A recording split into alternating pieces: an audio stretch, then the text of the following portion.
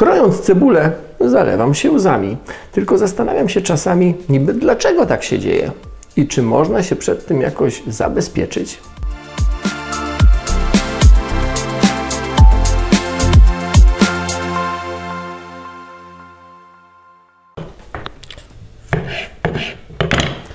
Popłakać się można z wielu różnych powodów, ale w przypadku krojenia cebuli nie chodzi o wzruszenie,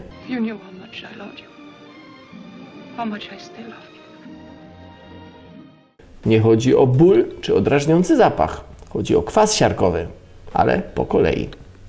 W komórkach cebuli znajdują się związki siarki i enzymy.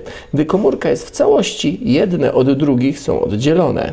Krojenie powoduje jednak, że enzymy mieszają się ze związkami siarki i tworzy się kwas sulfopropenylowy.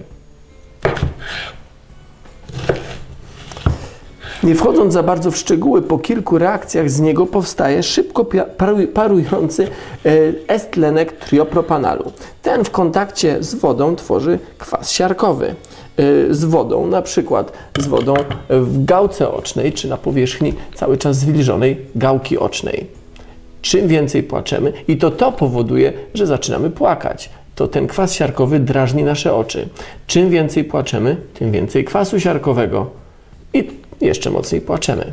Czy jest jakikolwiek sposób na to, żeby sobie z tym poradzić, żeby nie płakać przy krojeniu cebuli? Sposobów na to jest kilka. Przede wszystkim oddychać ustami, a nie nosem. Oddychając ustami, rozwiewamy gaz, który unosi się z powierzchni deski do krojenia.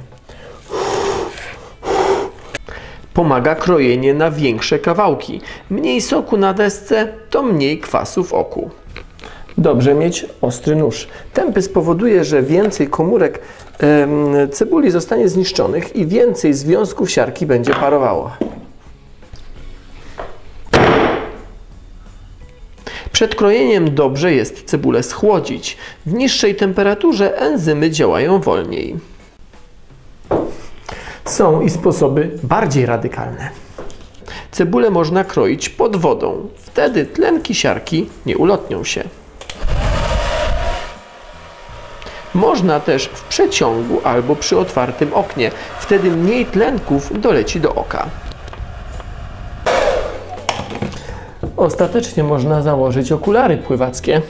Natomiast okulary przeciwsłoneczne nie działają. Nauka to lubię, choć czasami bywa niebezpiecznie.